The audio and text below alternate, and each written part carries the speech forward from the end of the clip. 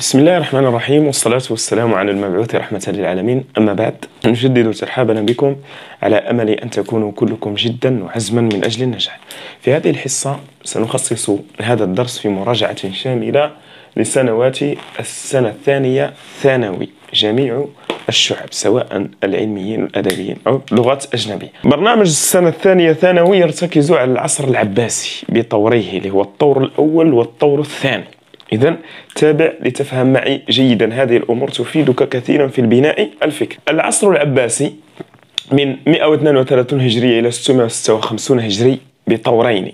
لماذا سمي أولا بالعصر الذهبي للأدب العربي؟ هذه نقطة.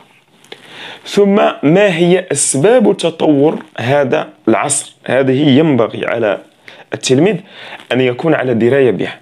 سمي بالعصر الذهبي للأدب العربي لأنه عصر شهد تطورا في الأدب وحين نقول الأدب شهد تطور الشعر كما شهد تطور النثر تطور الشعر وتطور النثر. وهو هذا التطور نحن نحصره في الأدب فقط لأننا ندرس الأدب العربي. أما هذا التطور فقد مس تقريبا جميع المجالات في الطب في الهندسة في الرياضيات في الفيزياء في كل المجالات. هناك أسباب أدت إلى تطور الأدب في هذا العصر وهي أول سبب تشجيع الخلفاء للحركة الفكرية. كيف شجع الخلفاء الحركة الفكرية؟ عن طريق إنشاء إنشاء دور العلم دور العلم زائد جلب العلماء. وإنشاء المكتبات. هذه كلها أسباب لا بد هذا السبب الأول الرئيسي لأن الخلفاء حين يشجعون الحركة الفكرية تجد إقبال كبير على الأدب من قبل العلماء أو عفوا من قبل الأدباء والشعراء. الاختلاط والامتزاج بين العرب والأمم الأخرى وهي نقطة جوهرية. لأن العصور التي سبقت العصر العباسي عصر الجاهلي صدر الإسلام والعصر الأموي هذه العصور الثلاثة التي سبقت العصر العباسي كان العرب عربا خلصا وبالتالي كانت الحياة الأدبية محدودة. ولذا هنا الاختلاط والامتزاج بين العرب والأمم الأخرى ونقصد بالأمم الأخرى هي هنود زائد فرس زائد يونان. هذه الأمم الثلاثة اختلط بها العرب فأثريت الحياة الفكرية والأدبية. نشاط حركة الترجمة وهو عامل مهم جدا وهنا نقصد بحركة الترجمة ترجمة الكتب من علوم الأمم الأخرى إلى العربية إلى العربية. لأنه ما لم تترجم لن نفهم محتواها وبالتالي الترجمة كان لها دور كبير جدا في تطور الأدب في هذا العصر. ظهور طبقة الشعراء المولدين والشعراء المولدين هم شعراء لأن هذا الاختلاط والامتزاج نشأ عنه تزاوج بين العرب والأمم الأخرى فظهرت طبقة من الشعراء المولدين. نقول هم شعراء يحملون آه صبغات. والصبغات هي الصبغات الوراثية عربية وأعجمية. ونشأوا عن طريق التزاوج. وهناك من الشعراء الذين استعربوا يعني كانوا ينتمون للأمم الأعجمية ثم انتقلوا إلى الأمة العربية. هذه العوامل الأربعة ساهمت في تطور الأدب. لذلك قد يأتيك السؤال في الامتحان ما أسباب ما ما أسباب ما أسباب تطور تطور الأدب في العصر العباسي. أو يقول لك ما هي عوامل تطور الأدب في العصر العباسي؟ ما هي عوامل أو ما عوامل ازدهار الحركة الفكرية في العصر العباسي. فهنا تلاحظ أن هذه الأسئلة وإن اختلفت صياغتها في المعنى واحد فهو يتحدث عن هذه الأسباب. هذا ينبغي للتلميذ أن يكون على دراية به. ننتقل بكم إلى أهم التيارات التي ظهرت في آه، يعني العصر العباسي. تابعوا معنا. إذا ما هي أبرز التيارات التي شاعت في هذا العصر؟ وينبغي على التلميذ أيضا أن يحفظ هذا ويكون على دراية بهذه التيارات. اولا نلاحظ أن العرب اختلطوا بالأمم الأخرى وخاصة الأمة الفارسية. والأمة الفارسية كان لها دور كبير في يعني يعني هي الأمة التي تأثر بها العرب أكثر من الأمم الأخرى. كيف كان ذلك؟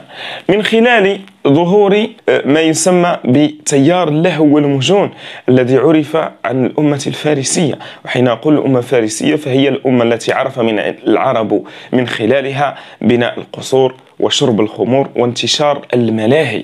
وبالتالي أول تيار نقف عنده هو تيار اللهو والمجون تيار اللهو والمجون وحين نذكر تيار اللهو والمجون فإنك سوف تتذكر أبو نواس وهو رائد تيار اللهو والمجون أبو نواس هذا أول تيار.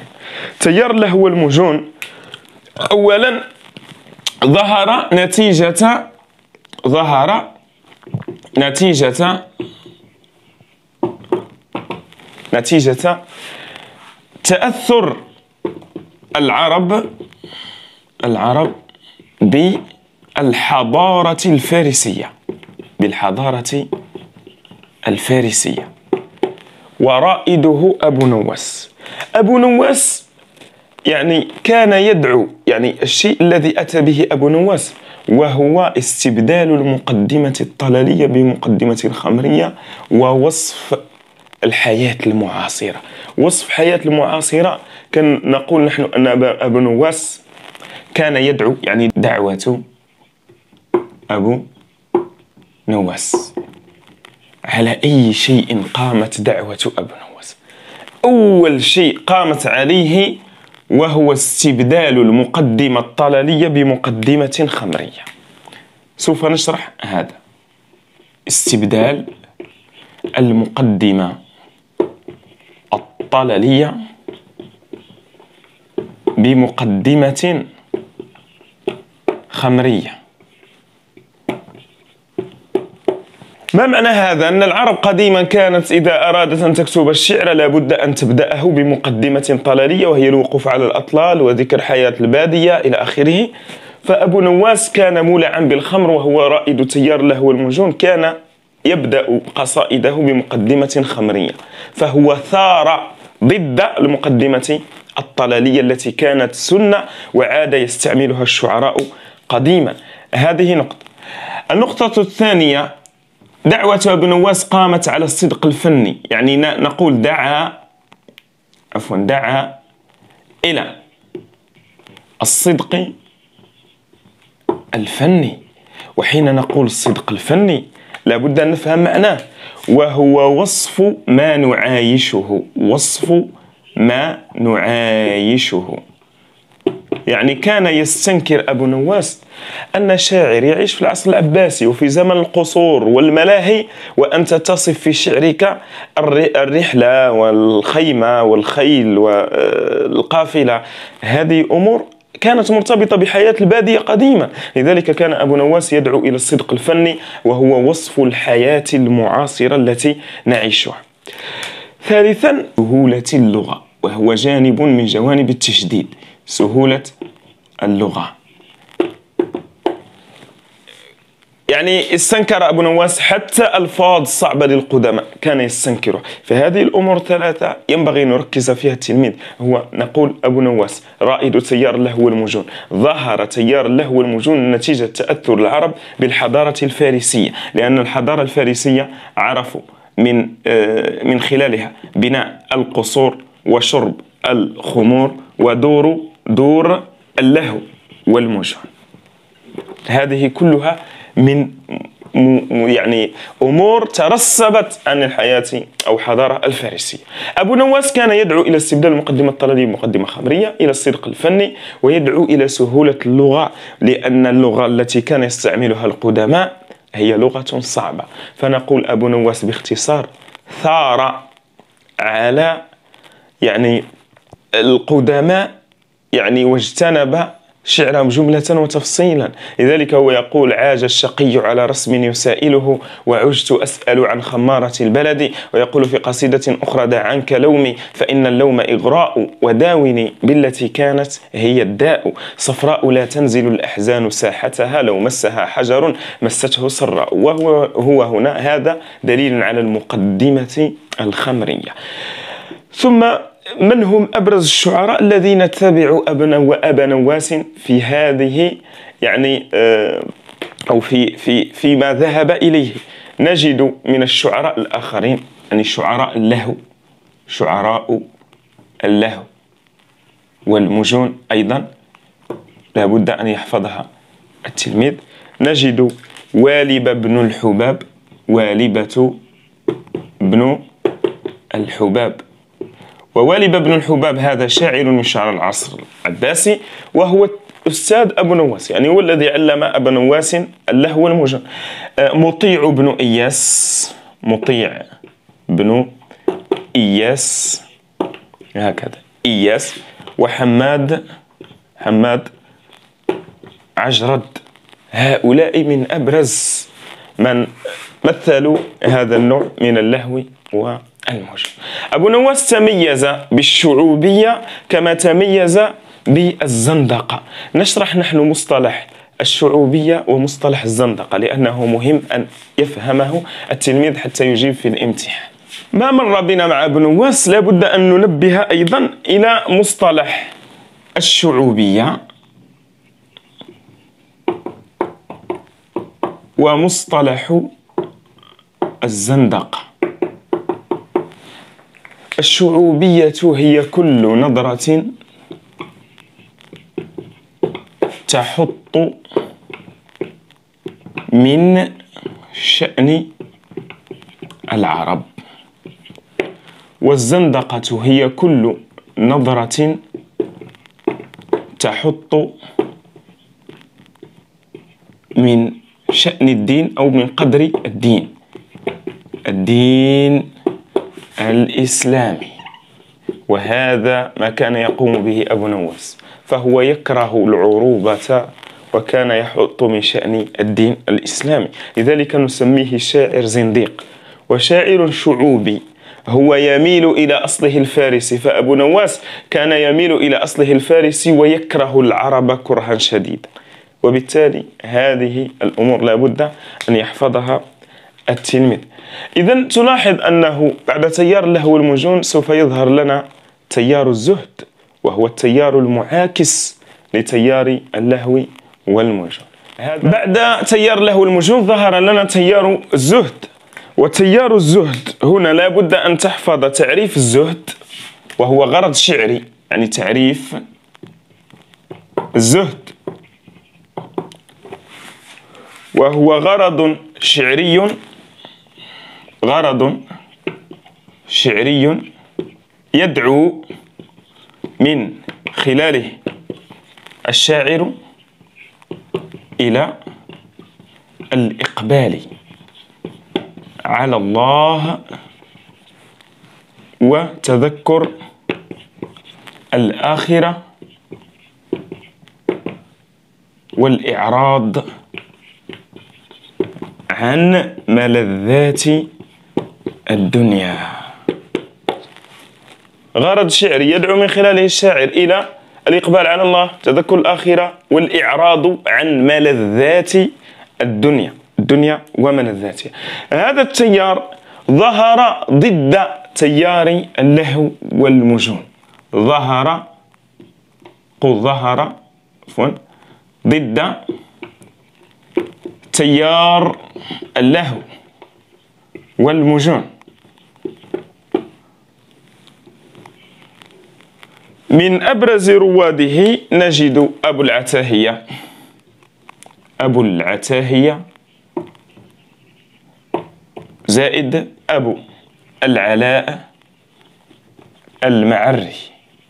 فأبو العتاهية والمعري كان من الشعراء الذين ثاروا ضد أبي نواس. على أي شيء يقوم؟ يعني آه، إلى ما كان إلى ما الذي كان يدعو له هؤلاء الشعراء؟ أولا تذكر الموت الابتعاد عن ملذات الدنيا نهي ونصح ووعظ هؤلاء اللاهين العابثين. فلذلك أحيانا تجد النمط السائد فيه يا إما تجد فيه النمط الحجاجي أو النمط الإيعازي الإرشاد. لماذا؟ لأن الشاعر يريد أن ينصح. إذا لذلك نقول هنا ما هي خصائص الزهد خصائص الزهد. خصائص تيار الزهد ينبغي على التلميذ أيضا أن يحفظها من خصائصه الدعوة الدعوة إلى تجنب تجنب الملاهي الملاهي. نصح اللاهين العابثين.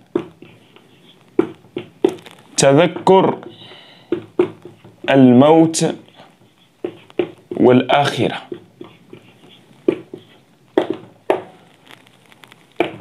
استخدام أسلوب الوعظ من خلال يعني أنهم يعظون هؤلاء الشعراء. فتلاحظ هنا أن العصر العباسي ظهر فيه باختصار شديد. أختزل لكم كل الحصة نقول ظهر تيار اللهو والمجون وظهر تيار مضاد له وهو تيار الزهد فكان الأول يدعو إلى حب الدنيا ورائده أبو نواس وكان الثاني يدعو إلى تذكر الموت واليوم الآخر ورائده هو أبو العتاهية أو أبو العلاء المعري. فباختصار شديد هذه العوامل كلها مجتمعة أدت إلى تسمية هذا العصر بالعصر الذهبي للأدب العربي. نلتقي في حصة أخرى مع بعض التفصيلات حول هذا العصر ثم يعني آه، فيما بعد إن شاء الله نحاول أن نقوم بتحليل النصوص خاصة خاصة بهذه الأنواع الشعرية. آه، أستودعكم الله الذي لا تضيع ودائعه. والسلام عليكم ورحمة الله تعالى وبركاته.